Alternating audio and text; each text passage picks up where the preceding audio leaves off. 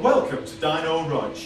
Today we're going to be dynoing the CBF 125. So if you're ready, we'll get it on.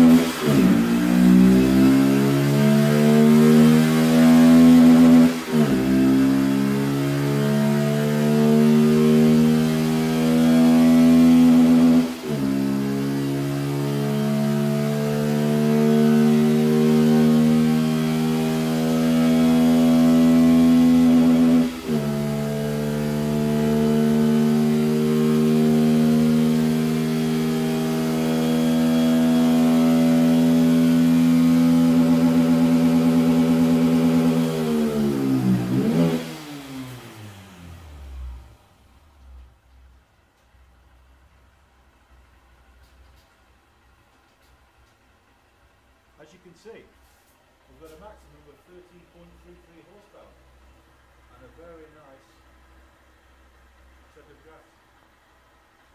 Thanks for watching. Until next time, it's Dyno Rog checking out. Bye bye.